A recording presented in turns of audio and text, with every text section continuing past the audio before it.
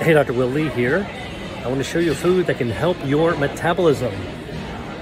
Chili peppers, in this case, cherry Calabrian chili peppers. Chilies have a bioactive called capsaicin that lights up your tongue, that text messages your brain and releases neurotransmitters. And this activates your brown fat, causes something called thermogenesis to help you burn down your harmful body fat. And then your metabolism improves. Want to learn more about this kind of thing and different foods that can activate your metabolism? Sign up for my Elevate to your metabolism online course. Uh, links in the bio. Elevate your metabolism. Sign up for my course now. Dr. Out.